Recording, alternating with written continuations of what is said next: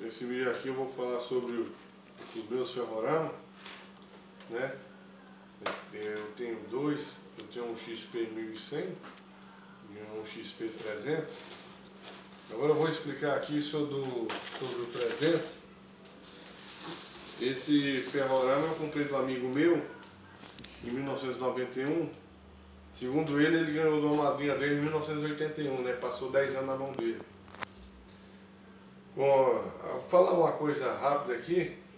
Ele é o seguinte, se vocês verem o tanto que esse ferrorama é inteiro, devido ele disse que não tinha condições de comprar pilha, então ele foi pouco brincado, né? Então ele não dava muito valor no brinquedo. E eu tinha um skate na época também, não gostava também, não dava muito valor. Então nós acabamos trocando aqui o skate, né, nesse ferrorama. Aqui, ó, eu vou mostrar para vocês aqui, ó. Dá um close aqui o, o, o tanto que esse ferrorama inteiro, né?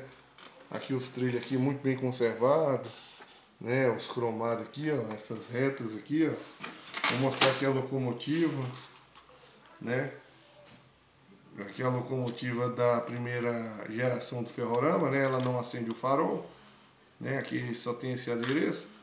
E outra coisa, para quem conhece de ferrorama, ó, aqui o cofre da pilha, o, o já da segunda geração já tem um, um pino aqui para fixar melhor aqui essa tampa aqui, né?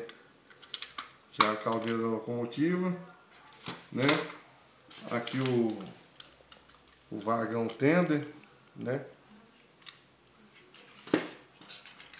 O vagão box, né? Hoje ele abre a porta, né, aqui. E o vagão tanque, né?